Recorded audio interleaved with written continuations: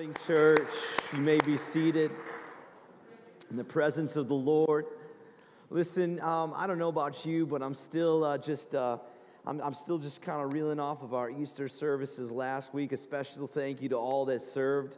Uh, super blessed. We had over 125 people simply serving last weekend alone. So, thank you for, for just being a part of that in this in that way. And so now we're on to the next thing. Who is ready for the eclipse tomorrow?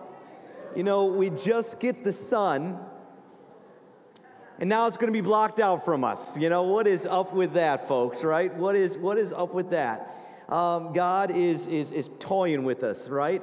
Um, and so, with that being said, let me just grab my table over here. Um, we have to get ready for um, just, uh, just uh, that we don't burn our retinas out um, tomorrow as well and uh, that would never be a, a, good thing. But I hope you all are ready. It'll be an interesting sight to see. Did you know that they're predicting that it's over $1.5 billion of revenue coming in for tourism alone?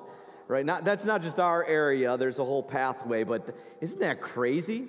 Just to watch the sun get darkened for a little bit? I mean, that's crazy to me. I mean, that's, that's your thing, that's your thing, I guess. I don't know. It's not necessarily my thing, but it's all right. Um, with that being said, though, we're gonna we're gonna get into a new teaching series today, and um, and uh, it, uh, you're either gonna hate me or love me. Probably the former of the two. I don't know. Uh, but we're to talk about something that nobody likes to talk about. Look at somebody and say, money. Oh, yeah. And I get it.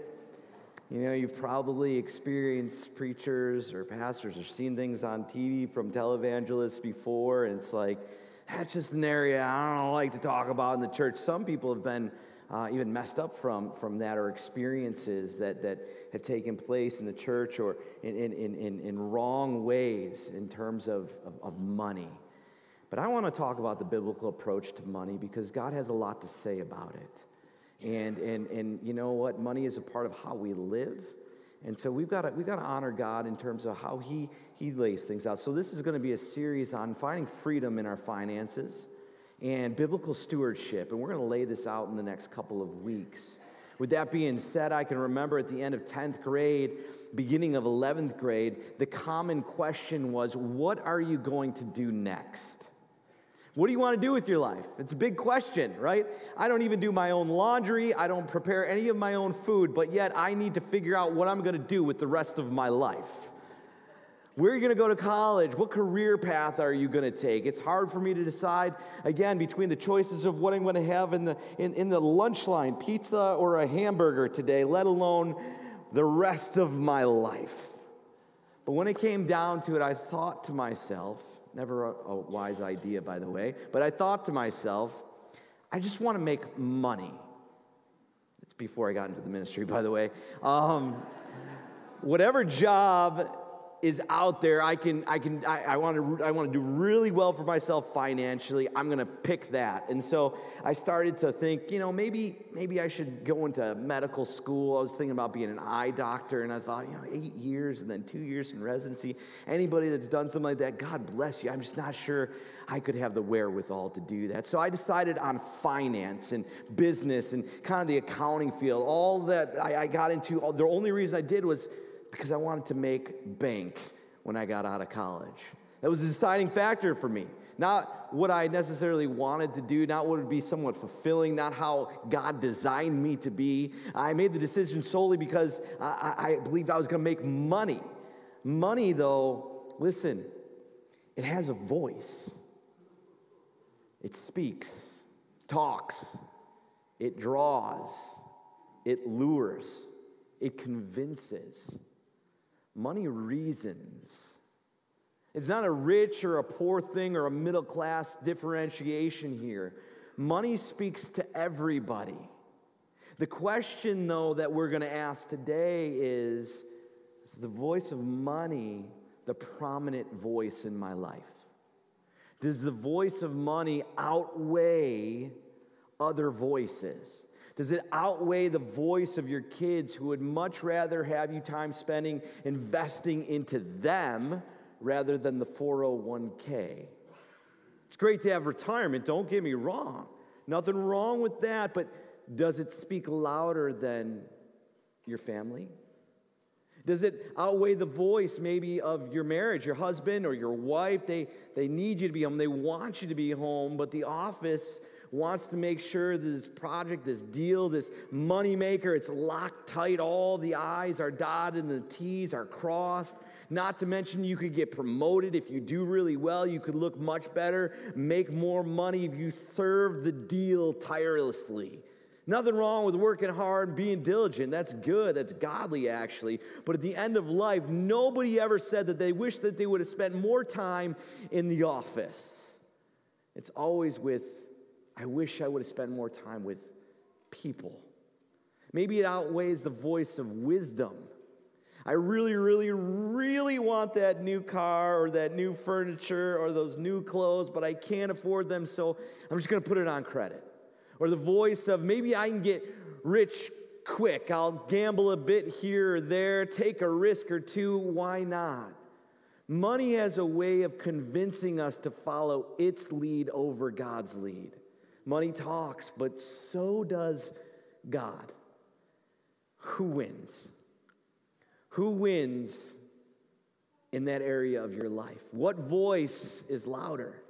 Over the next couple of weeks, we're going to ask ourselves that question Does God's voice or, or does money and materialism win out as the most influential voice in your life? We'll discuss what God says about money because He says actually quite a lot. There's uh, over 2,300 Bible verses, scripture alone, that talks about the almighty dollar and possessions in life. About 15% of Jesus' teachings dealt with money. There was about a third of his parables that he spoke on money because money talks. And you have to understand, though, that money in it itself, it's actually morally neutral. It is. It's not bad, nor is it good. Just like a television or the internet or social media isn't necessarily bad or good, it's what you do with those things that could be bad or good, right? The voice of money in our lives can stir up some unhealthy desires. It can cause us to do some things that don't necessarily please the Lord. It can be an area of our lives that, that but also that brings glory to God. And so money in it itself, it's, it's morally neutral. Not only that, though, God can use money to test our motivations. Oh, it's true. And we're going to discuss that today. He can actually grow us in being more like Christ with attitudes that look more like Jesus and godliness than the spirit of this world and worldliness. In this series, we're, as, as mentioned, we're going to talk about biblical stewardship. We're going to talk about an attitude of generosity, contentment, and we're even going to, even to talk about tithing. Today, I'd like to dive right into a story to help us to recognize the voice of money versus the voice of God. And just to give some context, Naaman, he's a Syrian general, an enemy of Israel, traveled to the land of Israel because he had heard about a man, a prophet of God who would cure him of his leprosy. God is the healer, but he sometimes chooses to use men or, or women to be vessels of his healing power. This was the case for Elisha, a prophet of God. Long story short, Naaman came to Israel. He was healed after some reduction of his pride. And Naaman then offered Elisha financial and material gifts, but Elisha refused. See, Elisha was not going to turn God's miracle into his money grab. So Elisha politely sent Naaman on his way and said, No, thank you. But there was another man who thought to himself, Well, if Elisha won't take the coin, well, I'll volunteer. How thoughtful. Let's read about the story. Second Kings chapter 5. Starting in verse 20, it says, Gehazi, the servant of Elisha, the man of God, said, See, my master has spared this Naaman the Syrian and not accepting from his hand what he brought. As the Lord lives, I will run after him and get something from him. I mean, you could see here that, that Gehazi really was sacrificing, wasn't he? It's like, what a good sport he was. You know, I, I you know, I don't want, I don't want Elisha to look bad, so I'm going to go take the money. Right? That sounds rational. Uh, but he goes on and he says, So Gehazi followed Naaman. And when Naaman saw someone running after him, he got down from his chariot to meet him and said, Is all well? Gehazi said, All is well, but my master has sent me to say, There have just now come to me from the hill country of Ephraim two young men of the sons of the prophets. Please give them a talent of silver and two changes of clothing. And Naaman said, Be pleased to accept two talents. And he urged him and tied him up two talents of silver into two bags with two changes of clothing and laid them on two of his servants. And they carried them before Gehazi. And when he came to the hill, he took them from their hand and put them in the house. And he sent the men away, and they departed. He went in and stood before his master. And Elijah said to him, Where have you been, Gehazi? And he said, Your servant went nowhere. But Elisha said to him, Did not my heart go when the man turned from his chariot? to meet you? Was it a time to accept money, garments, olive orchards and vineyards, sheep and oxen, male servants and female servants? Therefore, the leprosy of Naaman shall cling to you and to your descendants forever. So Gehazi went out from his presence a leper, white as snow. Money was talking and Gehazi was listening. See, money has a way of getting you to justify actions that are less than honest. They're less than best.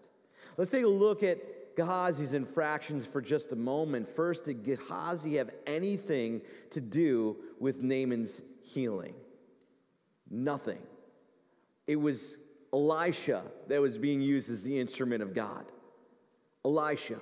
Elijah made it also abundantly clear right afterward that he would receive no money for a miracle. Elisha knew that money was talking, but he refused to listen to the voice of money. He wouldn't do it. Next, Gehazi thought to himself, that may just be the worst thing that you could do, uh, by the way, when you start to think to yourself. It actually says Gehazi thought to himself. Just a little word to the wise stop thinking to yourself. All right? Stop it. All right? Look at somebody and say, think to God, not yourself. See, we got to do a little bit better in terms of, of, of, of bringing our thoughts to God rather than just thinking to ourselves. Because thinking to ourselves doesn't always get us in the best places. Can I get an amen? Right. All right. We get this bunch of ideas as to why we don't want to think to God, or we think that God's going to somehow take something from us, or especially in this area of money. Our money or an opportunity, He's going to take away from us, and, and God's going to make us miserable. That's not necessarily how God is, all right? So we don't like to consider God in this area of our lives because what is mine is mine, and what is God should be, what is God's should be mine, right? Stop thinking to yourself about your money and start thinking to God. He can do so much better than you can with your money. The problem is you don't really trust Him. Let me just say it that way. All right? You don't trust God if you don't allow yourself to think to God about your money. Third strike for Gehazi. He crafted a plan of falsehood. He deceived Naaman. And he made it sound great. Oh, these couple guys just, they came in, they're in need, you know, and, and we got to help them out. Elijah sent me to come get you. I mean, completely a false narrative, completely wrong, right? Credit for this powerful man. And then he tried to deceive his boss, Elijah, afterwards. And when confronted about this, Gehazi, he lied even more. Did you notice when the servants came back with Gehazi? It says they came to the hill. They didn't go over the hill, they came to the hill because Gehazi didn't want the, the servants of Naaman to come with them so that Elijah could see them. It's like, I got it from here, guys. Let me take it, right? So he lied to Elisha because the voice of money will convince you to act on its own interest rather than what is true, what is noble, and what is good. Now you have one person in the marriage hiding debt or taking loans without the other person's knowledge. Now you're confronted to, to, to, to report certain earnings on your income taxes that you prefer to keep hidden. Now you're confronted with fudging the numbers on an estimate so that you can get the job. We do things and we falsify things when it comes to money. Money talks. And Elisha knew, like when a mom knows and can't, you can't, you can't hide the truth from the mo- your mom. She's got eyes on the back of her head, right? You know what I'm saying? That's, that's Elijah right here. And he asked Gehazi, Is this the time for a money grab? Is this really the time to pad your numbers? Is this the time to make a profit? I mean, look around at us, Gehazi. Look at our nation. We're not in a very good spot. And you're trying to, you're trying, you're trying to make bank here. You're trying to be all out for yourself. Oh man, election's coming. Good Lord. It's the time where we're, we're, we're all about what we can get from this government. Good Lord. Dear Jesus, help us. Gehazi's deception revealed who it was that he was serving, and it wasn't God. I need you to, to listen to this. If you don't hear anything else today about what I'm saying, because you blocked me out because you don't want me talking about money, I get it. Maybe you don't like that a preacher's talking about money. Maybe you heard and seen some things before that, man, they're just they're like, I don't know about that. Or, or there's preachers trying to rip you off. That's not what I'm doing. I'm not that guy. And I actually care about your soul and the voice of money and how it can actually affect your soul. Because you can't really walk in the freedom of Jesus Christ. And that's my biggest win in my life when I see people walk in the freedom of Jesus in whatever area of life it is. Because money can steer your life, it can start to push you in directions that's not healthy. If you're not going to hear anything else that I say, then I'm just going to ask you to hear this. Hear this. The voice of money always overpromises, but it always underpays. It always overpromises, but it always underpays. Every single time. Elisha knew who his provider was. It wasn't Naaman, it wasn't the government, it wasn't clients or patients. It wasn't his education. It wasn't his own abilities. It was God. And if God said no, the answer was no. Money overpromised Gehazi, but underpaid him. Because those two talents of silver and those four pairs of clothes would not take care of the leprosy that he was now going to receive. Gehazi didn't know that he was now walking into a life of poverty simply because he listened to the voice of money over the voice of righteousness. I mentioned before that when I went to college at first, my decision solely was based on making money. Apparently, my thoughts were on money because there was another opportunity that arose uh, my first semester going to college. One day I entered my biology 101 classroom. It was a big auditorium. It had over 300 seats in it. And every single one of those 300 seats, there was a little piece of paper, a quarter size piece of paper that had some writing on it. And these pieces of paper asked a question. Had a phone number on it, but they asked this question, and this was this is what caught my eyes. Do you want to make $13 an hour? And I thought to myself, why, yes, yes, I do. You see, it was better than the $5.40 an hour job that I had, minimum wage plus a quarter. I got a raise at some point, right? And so I thought to myself, what an opportunity. I'm going to go to college here. I'm going to get this now job to make $13 an hour. I'm going to be rich. All my troubles and college woes are going to be gone. This is my big break. So I called the number. I signed up for the training. And at the training, guess what I learned how to do? Sell knives. But the catch was, in order to sell these knives, you had to showcase these knives. And so you had to buy a set of these knives. How nice of them. Oh, come on. I wasn't going to say it. You know what I'm talking about.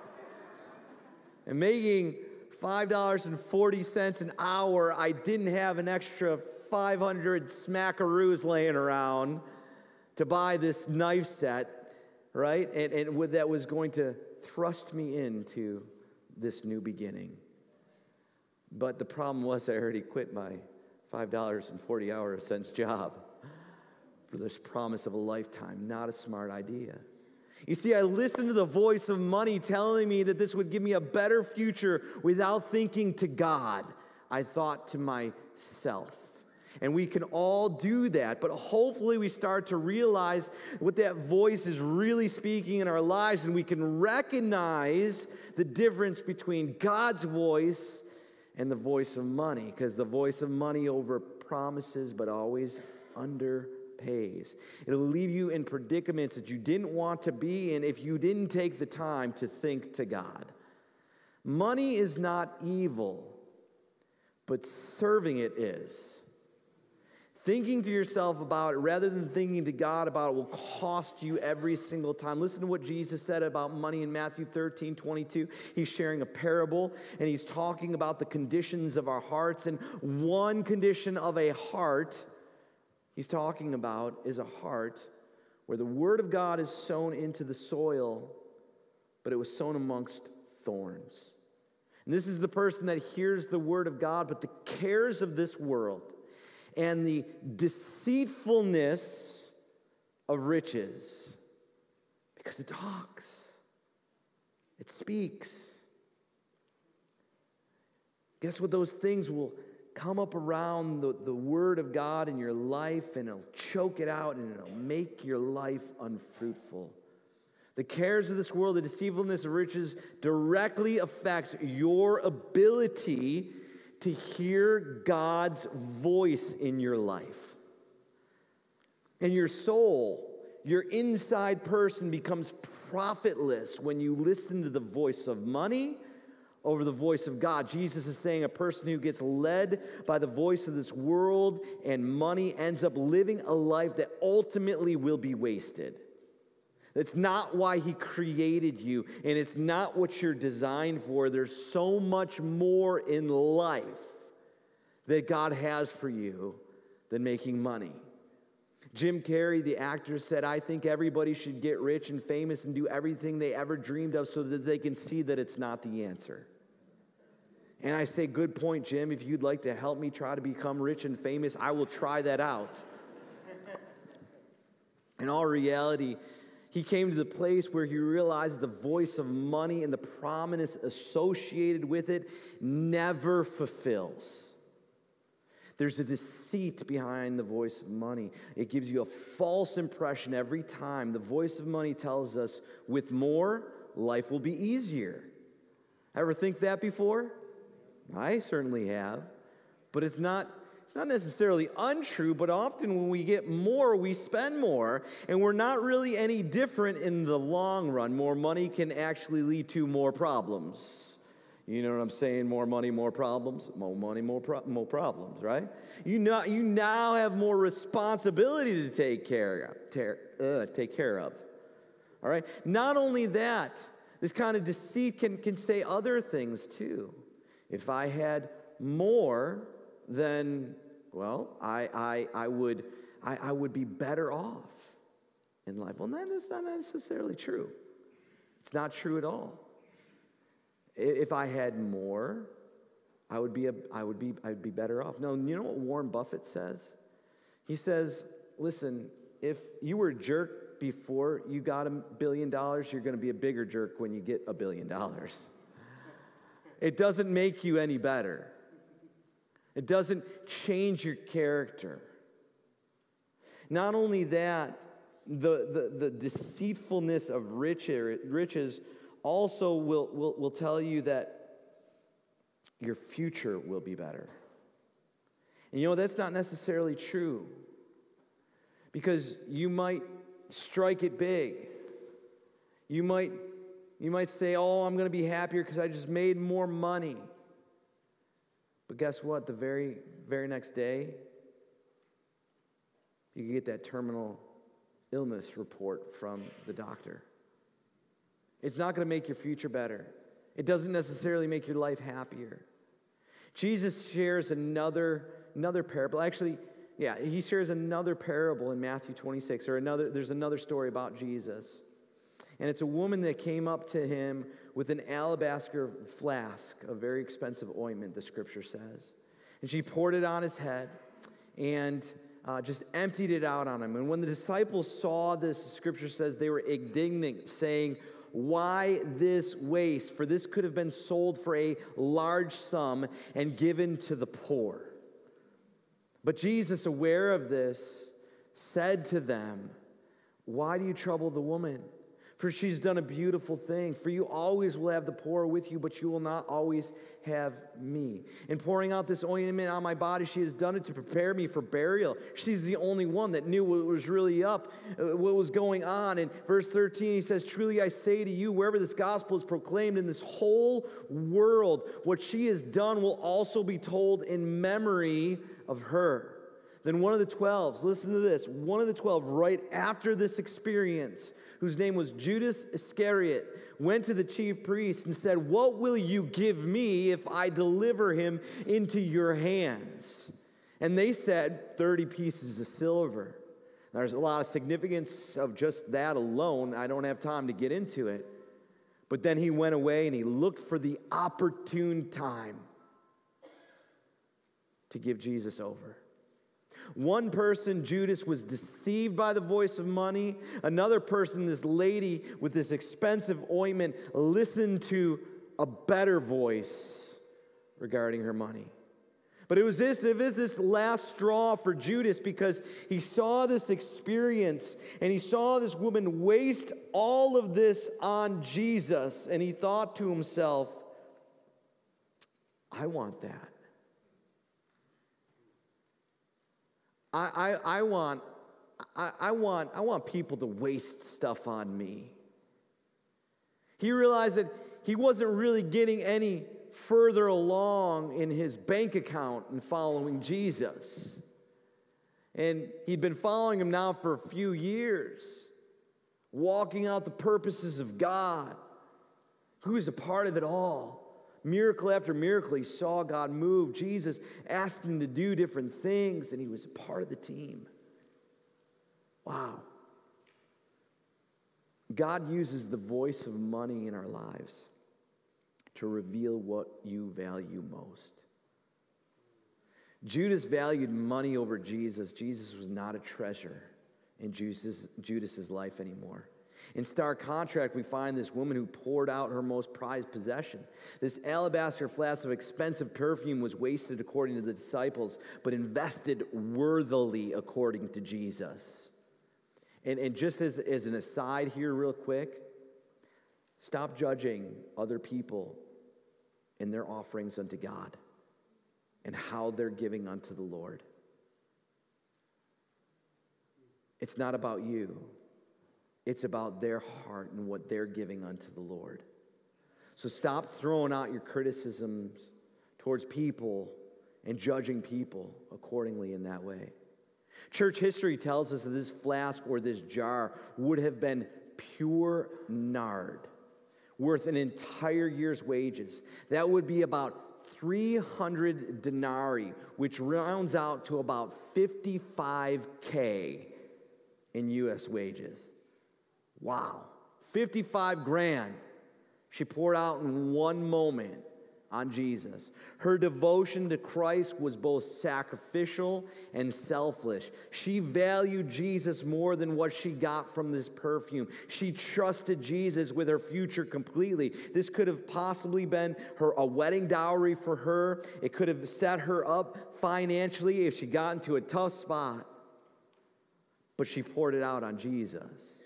And for Judas, for Judas, he left to make a, a future for himself in a way that was lucrative to him. But ultimately, it led him to his own demise because the voice of money always overpromises, but always underpays. Just the other night, I heard my six year old daughter, Finley Grace, try to buy a slinky from her older brothers. They, didn't, they don't care about the slinky. They don't want it, some old toy, I'm sure. But she doesn't have any concept of the value of money. She's throwing things out there. I'll give you $5 for that. I'll give you $10. I'll give you everything in my piggy bank for that slinky.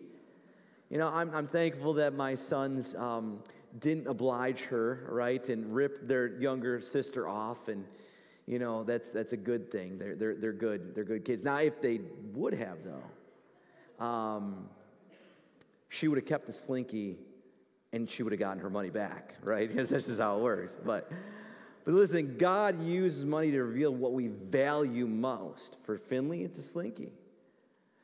Do I value God over money? How about over my marriage? How about over my health and relationships? How about over our God designed purpose, our true fulfillment of life? Do I value money over those things? It's another story that we all know too well, Luke 18. We've shared on this not long ago, but a rich young ruler, guy has it all. He's doing well. I mean, he's young, he's got prestige, he's got affluence. I mean, he's got the following, he's got it all. He comes up to Jesus, he realizes he's missing something. He says, Good teacher, what must I do to, to obtain eternal life? He was beginning to realize the voice of money didn't, didn't promise him true life, didn't give him eternal life, it didn't give him abundant life, didn't give him real life. He was empty. This thing was, he was unfulfilled. So Jesus coached him in the moment and he offers him eternal life. He offered him what eternal life is is an opportunity to come follow Jesus. That's where you find eternal life. It's not in just a little prayer that you say to reassure yourself that you're saved. It's, it's, it's that your, your heart so much believes it, your mouth so much confesses it, and that you, your actions begin to show it. Eternal life comes from following eternal life whose name is Jesus. And so Jesus offered this guy eternal life. And in verse 22, he said, But there's one more thing that I, I, want you to do because there's something tripping in your life right now. It's tripping you up. And, and, and, and, and this is what you need to do. One thing you still lack so that we can take care of you continue to follow me in, in your life sell all that you have and distribute it to the poor and you'll have treasure in heaven and come and follow me when this guy heard these things, he became very sad and because he was extremely rich. This young guy didn't realize the greatest treasure was not in his bank account, but it was staring him in the face. And that's another reason why God uses the voice of money to test your commitment level. This young guy decided that it was too high a price to pay to follow Jesus, to give up all of his wealth and his possessions, and that's it's a difficult thing for any of us. Our temporary comforts and desires so often outweigh our eternity and the true riches that God will want to give us. Nobody said following Jesus Christ was easy. But Jesus looks for commitment. Commitment is a deliberate decision, it's a determination regardless of feelings or even of circumstances of, of a situation. Because so many times, how we feel about things or the situation, the circumstance dictate the voice that we follow in our lives.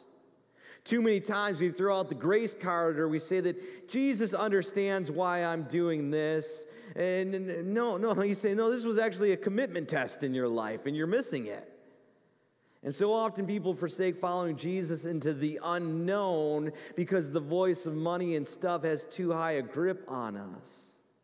Jesus says in Matthew 6 24, no one can serve two masters, for either he will hate the one and love the other, or he'll be devoted to the one and despise the other. You cannot serve God and what? money. Jesus saying you just can't do it. It's impossible. He breaks it down. There are two leaders in this life God or money, and you can't serve them both. He told the church of Laodicea in Revelation chapter 3, and he wasn't holding back any punches. He's saying, Guys, listen, you say that you're rich and you're prosperous and that you need nothing. But I'm coming you out, I'm saying you're actually wretched, pitiable, poor, blind. You're naked. The voice of money actually can blind you to your actual condition. He taught this in another parable in Luke 12. He, sa- he, said, Someone in the crowd said to him, Teacher, tell my brother to divide the inheritance with me. But Jesus said, Man, who made me a judge or arbitrator over you? Jesus didn't even want to get involved in the family stuff. I mean, whoever wants to get involved in that, right? And Jesus said, Take care and be on guard against all covetousness. How much covetousness? For one's life does not consist in the abundance of possessions.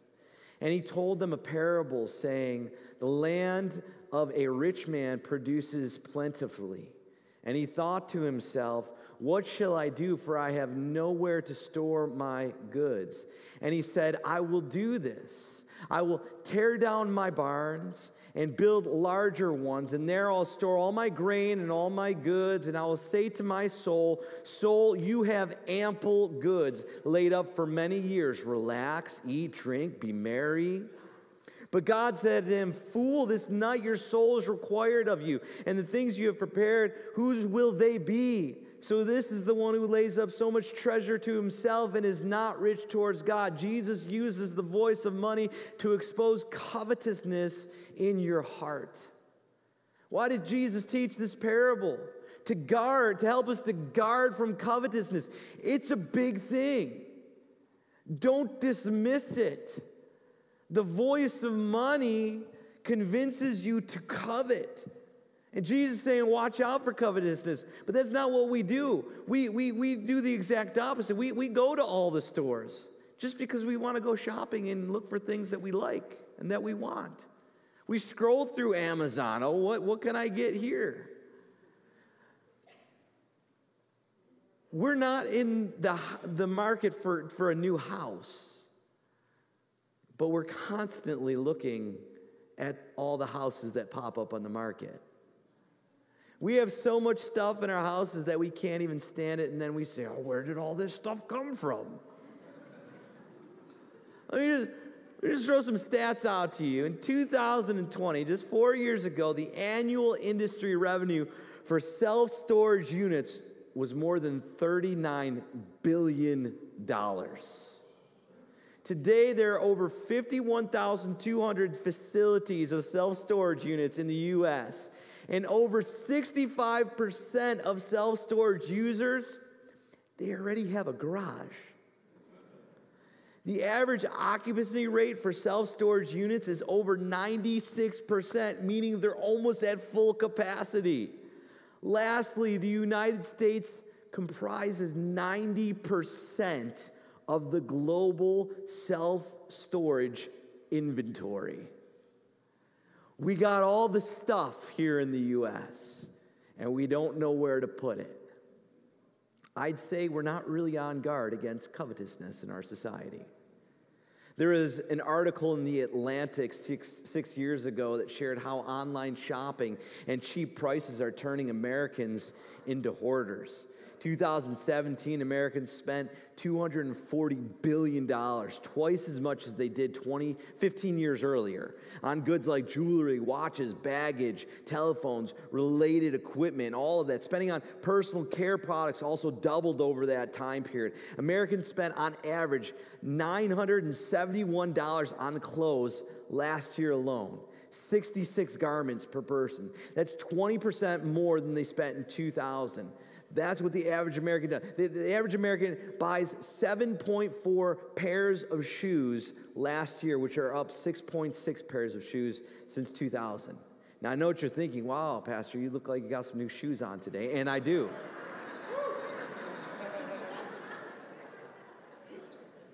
but you know what?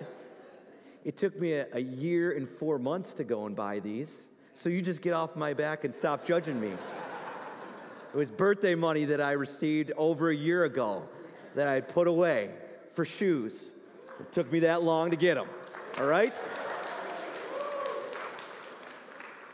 We all know that Jesus is laying down the truth. Are we listening? We live our lives to collect and get and desire, but the, great, the, the, the, but the greater matters, the treasure of Jesus and his kingdom. Does that matter to us? one of the most influential objects in our society. You're thinking it's going to be the cell phone, but it's really the credit card. They became a reality in the 1950s and have grown in influence ever since. The credit card gives a false reality that you can purchase something even if you don't have the money for it. The first day that I went to college, when I entered the common area, it was lined with credit card companies and tables displaying all that they could have and what they would give you. They're going to own you right from day one. They're there to ruin people's lives. Seriously. It ruins your life. It's far too easy to get credit cards. You can't have mine, though. Richard Stearns of World Vision shares a little uh, story in his new, newsletter. There was a three year old girl from Rochester, New York, received an application for a platinum Visa card in the mail. Three years old. It so amused her mom that she filled it out, listed her daughter's occupation as a toddler, and left the income line blank. But she wrote on the application, I like to have this credit card for, for some toys, so I can buy some toys, but I'm only three and my mommy says no. The credit card arrived in the mail two weeks later. Our society will not help you be on guard against all kinds of covetousness. Rather, they'll help you fall into the trap of it. What is all kinds of, of covetousness? Real, real quick, what I can get. We think about what I can get. You just got some money because you just worked hard. What can I get? You're already thinking about what you can get.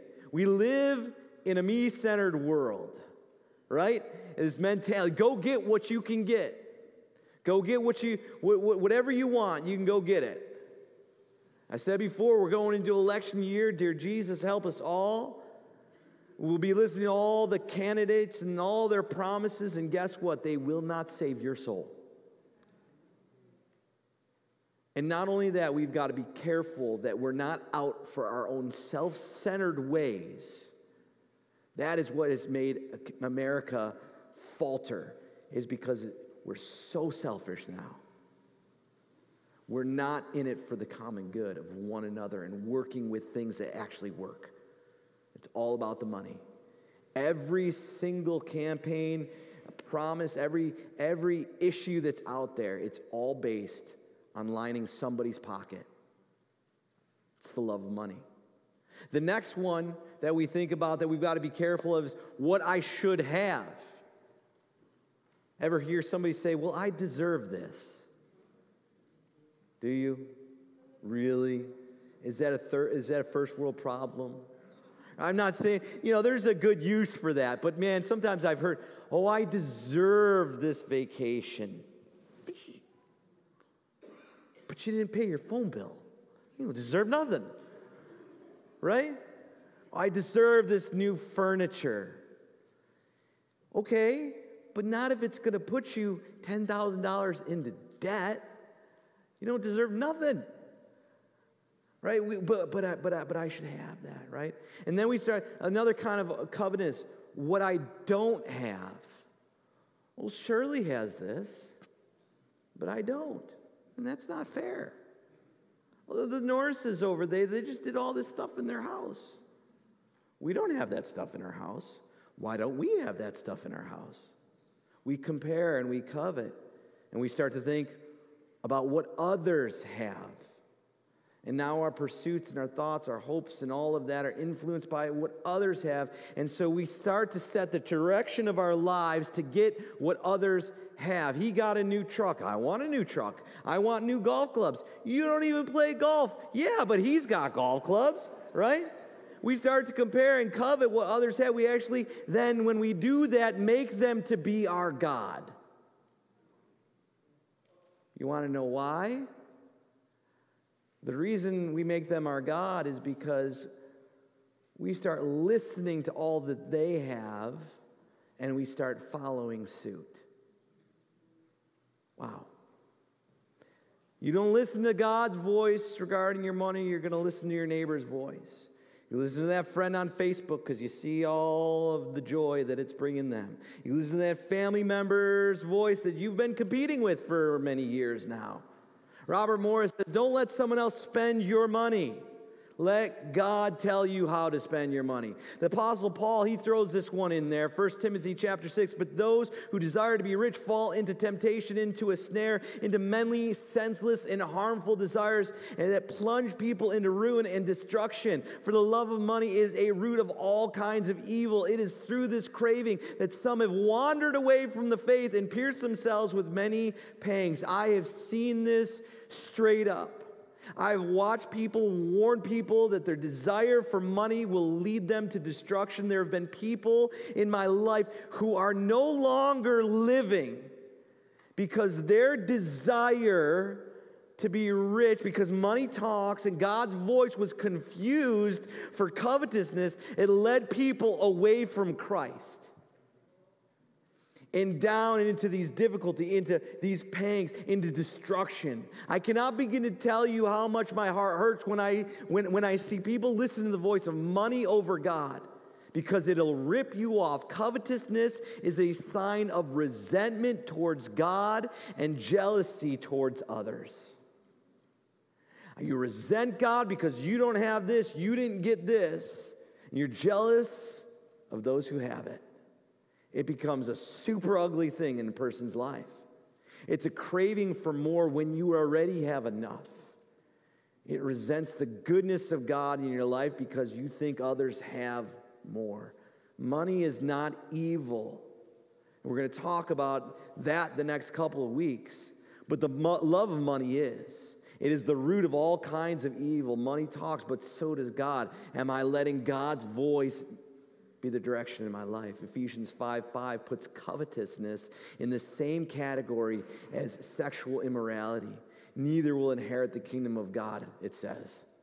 It's not a small thing to God. The voice of money overpowers but under or overpromises but underpays. America is the most depressed nation in the world.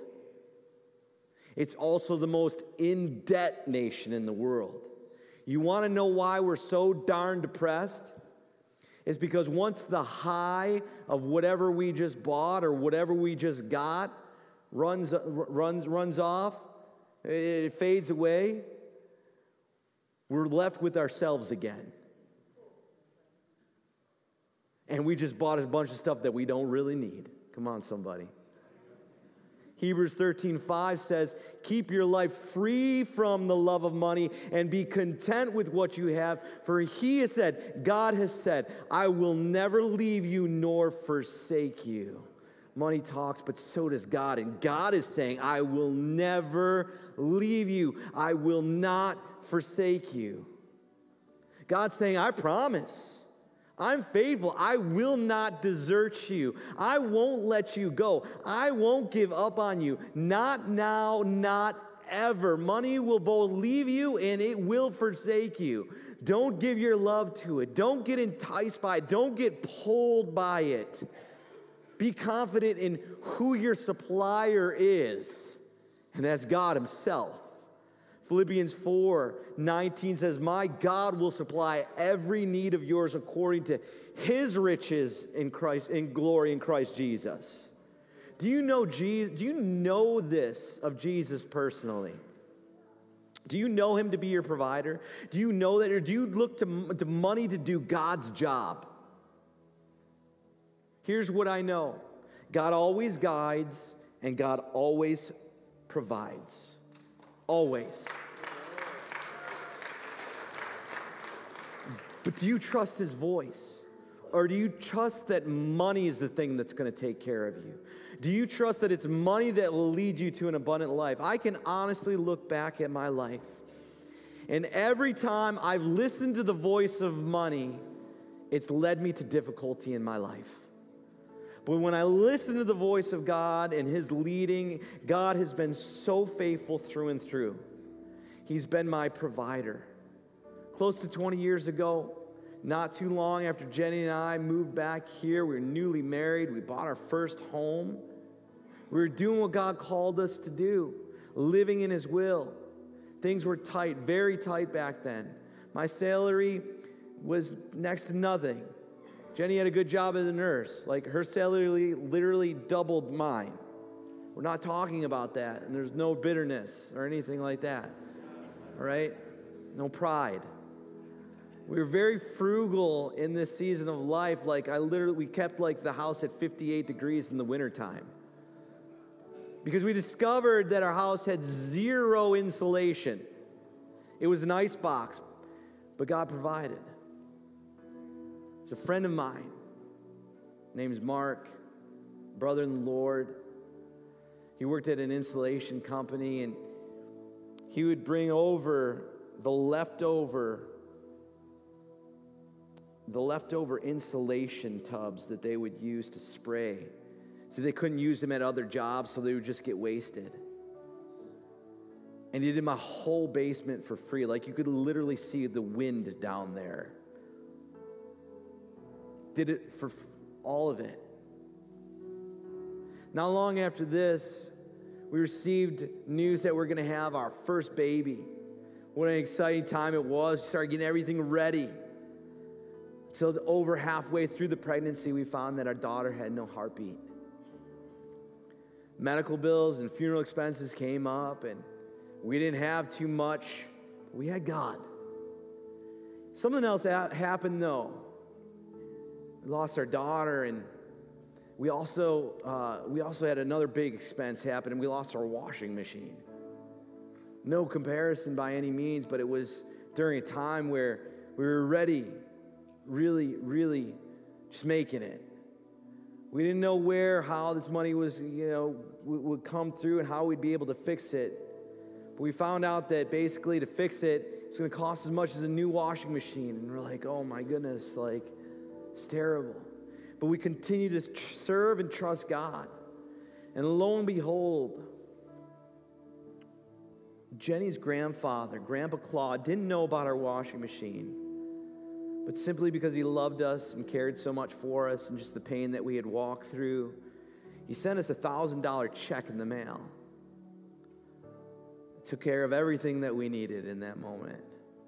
Fast forward a little bit, God had blessed us with our son Leland, and our next son Hudson was on the way. Another exciting time, two weeks out, but God put it in our hearts to take two teens in our home because their mother couldn't take care of them any longer. I've shared it before.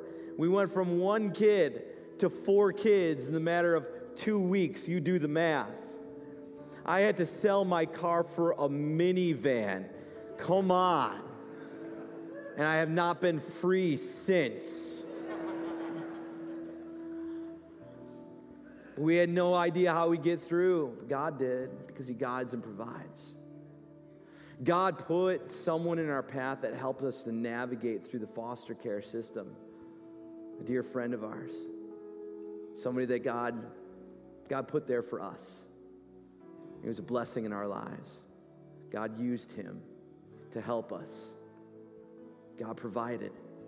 I could go on with testimony after testimony of how God poured in and provided in our lives. Money didn't do that, God did it.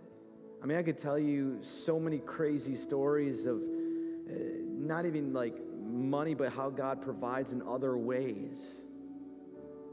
You know, in that season, Jenny and I were talking about it last night, in that season when we went from two kids and, and they were 15 months apart, Leland and Hudson, to then two teenagers, we were actually very nervous, like, because we're like, how are we going to ever have any time to ourselves? Like, how is that going to even work, like, in our own home? Like, and, and, and, and it was crazy because the two teenagers loved to go to bed really early. And so we, we even had that time. We prayed about having time. God provides in ways that, let me just, He'll do it because it's who He is. Because His promise is that He'll never leave you nor forsake you. Listen to His voice, not the voice of this world, not the voice of money, not the voice of what he or she has.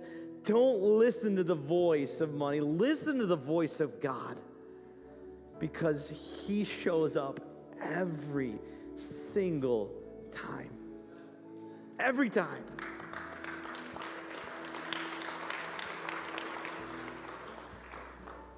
And if you don't know that of Him today, I just want you to simply pray in your heart, say, God, I want to know you this way. I don't want to listen to what this world has to offer and what this world is giving. I want to listen to your voice and your voice alone.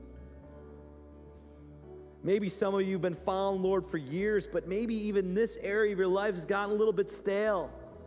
You're not see, you, you, are blessed and you live a good life and all that, but you're really not seeing the miraculous hand of God moving in your life. You're not seeing kingdom things happening. I'm just going to ask that we would recommit to knowing God as our provider in this season of our lives together. He'll never leave you nor forsake you. That's who he wants you to know him as, as your provider. It's his job. And he takes great pride in that job. He loves you so much. And he's willing. But you got to say, okay, God, I trust you. I trust you over the voice of money in my life.